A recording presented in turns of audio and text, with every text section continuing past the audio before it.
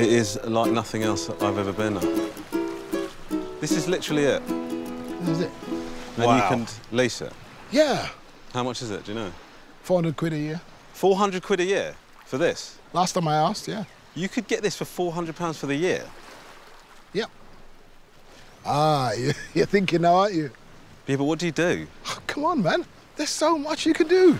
Like what? Well, we maybe go fishing. Okay, I'm vegan. Then what do we do? Uh,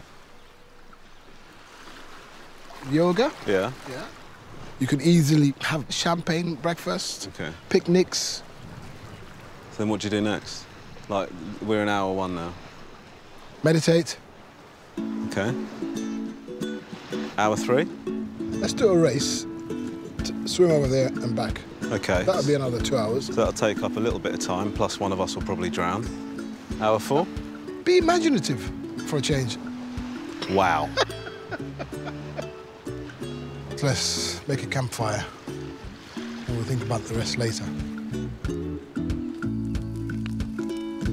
Gwyn, I want to say thank you. This has been lovely. I say, I'm saying this now because I don't think I'm going to survive the night. So I just want this to be your sort of Your last. your last memory of me. Right. The creatures will get us. There are creatures here crabs, crocodiles. You heard earlier the crocodiles as well. We're stuck between a croc and a crab place.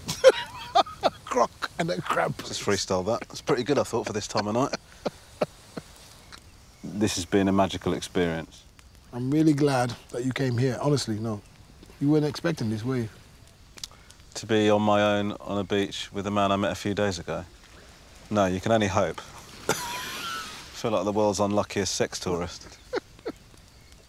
Are you not slightly concerned about sleeping out here? No, no. What is there to be afraid of?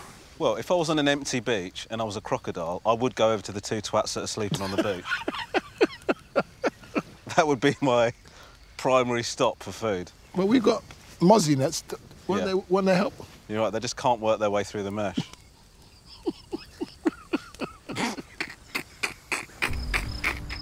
Morning. How did you sleep? Every time I heard a noise, I shat myself. And there's so much sand on me, inside of me. The next time I go to the toilet, I'm going to shit a full sandcastle with turrets.